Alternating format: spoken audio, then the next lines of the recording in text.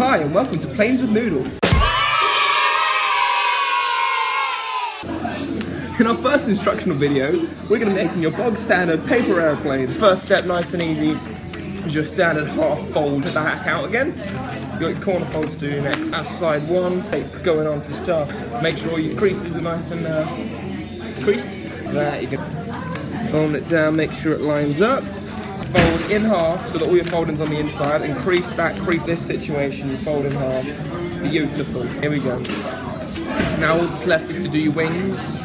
Noodle, Yes. do you believe you can fly? I believe I can fly. Finally, you've got your uh, your plane, and that's your bog standard paper airplane, aeroplane, paper airplane, airplane, aeroplane. Hopefully it flies.